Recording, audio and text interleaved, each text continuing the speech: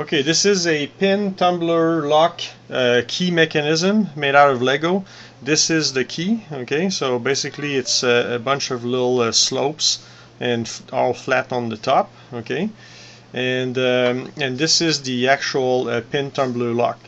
The uh, the driver pins, the top pins are made like that. It's a very simple little thing, and uh, the bottom pin are here, and they push on the top pin just like that okay by pushing on that little part.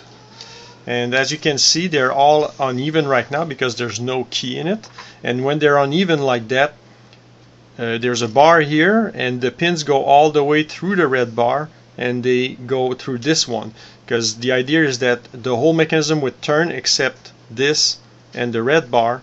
And since the pins are going through into that black part it would prevent the system from turning and it would uh, it, basically it's the lock. And there would be a, another bar like that at the top and if the pin is too high it would also go through it.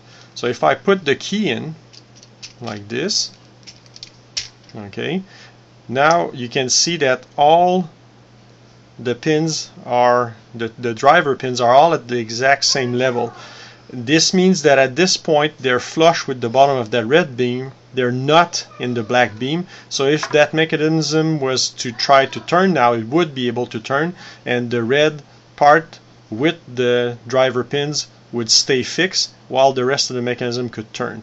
If the key is not the right key or it's halfway pushed or something like that some of the keys would go down in that beam and some of the keys would go up in the top beam preventing the mechanism from turning. So just for the sake of demonstration I'm going to go again. So you see now it's flushed it's unlocked and if I pull it out it's locked again. Thanks